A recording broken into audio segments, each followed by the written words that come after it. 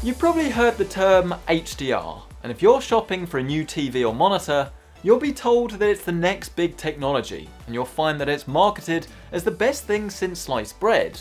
But is it? It's actually a harder question to answer than you might expect. So here's everything you need to know before buying. HDR is a term that stands for High Dynamic Range. And in a nutshell, it allows for a greater amount of colour and contrast on your screen at the same time. Whenever a camera captures an image, you're just looking at a snapshot of that particular moment in time. And the higher quality of camera, the more light information can be packed into a single frame. It gives us a huge layering of different detail across different levels of light, so we can see into both the dark shadows and the bright highlights of any particular scene. If we're watching a film, then this is normally recorded as quite a flat, murky looking image, before they hand all of that footage over to a colorist where they edit it and then bring back all of the detail and of course tailor the film to meet the creative style of the director. This in itself is fantastic and I can pretty much guarantee that if you see anything that's filmed in this way, you will describe it as cinematic. And in terms of video production, this is how we increase the dynamic range of the scene. But this is actually only half the story, as while having a great source is essential, we still need to deliver and display that content on a projector, monitor or TV.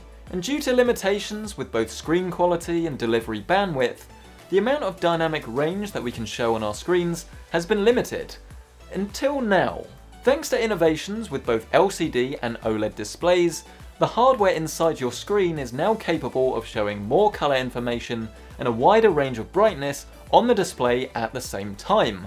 This allows the image to look more vibrant and contrasty, but also a lot more natural, with darks and lights both reflecting reality closer than ever, assuming that's what the director intended. Because of this, we also have new standards for capturing and delivering video with HDR. If you're a producer, then you're probably already making the switch to the Rec 2020 color space, but if you're consuming the media, then you're looking for a screen that supports the HDR10 standard. HDR10 allows your TV to receive and display high dynamic range images with a wider array of colour, and it's supported by pretty much any HDR screen that's worth its salt. This is the current baseline for HDR displays, but because nothing is ever simple, there are even more advanced options out there if you want the absolute highest quality HDR experience. On the TV side of things, you may hear the term HDR or Dolby Vision. And both of these are more advanced HDR formats, and they can change the video metadata during playback. In layman's terms, this means that the content can tell the screen exactly how bright and how dark each scene should be, and allow for even clearer detail. But unfortunately, not all of these formats are supported by every manufacturer and model, and the amount of available video is, well, rather limited. In terms of normal HDR10 content though, this has been around for quite a few years now, it's matured a lot, and there is actually quite a lot out there. Pretty much every new game that arrives on Xbox and PlayStation will support HDR, and even the PC has support in the majority of the freshly released AAA titles. Netflix and Prime Video also have a huge library of video content, with seemingly every new original release arriving in both 4K and HDR, some of which even use the advanced dynamic formats. And let's not forget about 4K Blu-ray, which offers the highest quality picture right now and a huge amount of discs that are available with a full-fat Dolby Vision experience. So the ecosystem is pretty well established right now, but the question remains, is any of this actually worth it? And the answer is, well, sort of. The main issue with HDR is that the whole thing just isn't very simple. Unlike 4K resolution, which is binary, you either have it or you don't, HDR varies from jaw-droppingly amazing to just a bit pants. For the best experience, you're going to need some well-mastered content and a high-end display that's capable of showing a wide range of colours, deep inky blacks, and bright, bold highlights. And this just isn't the easiest thing to get hold of, as there's a huge range and variance between all the different displays, and this is really the underlying issue. Whenever you're shopping for an HDR display, look for three key things.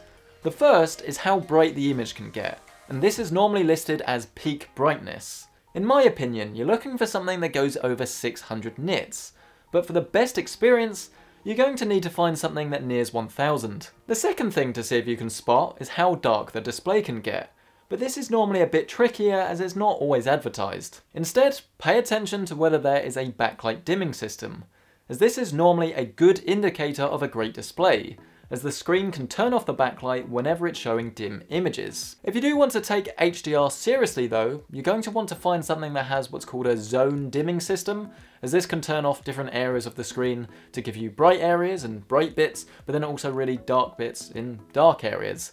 The alternative is to get an OLED TV as this doesn't actually have a backlight system at all and you get perfect blacks without having to worry about any of the issues associated with LCD. But they don't go as bright because complicated. The final thing you need to look at is the standard of HDR that's supported.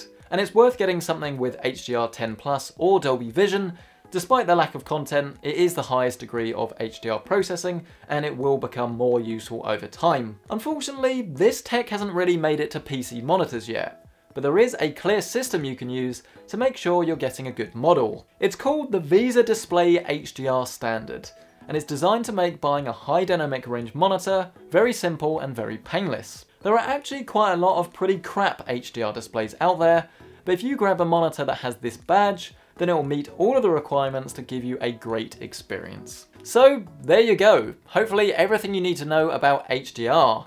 Very complicated, I know, but I guess once you peel back all the layers, it's sort of simple to understand. You just need a good source, you need a medium that can actually transport it, and then you need a TV that can display it. You have all of those three things, and you have a fantastic HDR experience that is absolutely worth it. You just got to make sure that you get the best display you can and you don't get fobbed off with one of these, especially on the monitor side, one of these displays that says HDR but it won't really look any different to your eyes. If this video has helped you, please hit the like button. It really helps me out. It lets YouTube and other people, I guess, know that this is a video worth watching. This took a bit of time to make and write, so I hope you guys have enjoyed it. Subscribe for more videos just like this and do let me know what sort of topics you want me to cover next. If you do want to see some reviews of PC monitors with HDR support, you can find that in the top right hand corner. But I am severely out of breath now. It's time to go and chill for a bit, I think. Thank you so much for watching. I'll see you in the next one.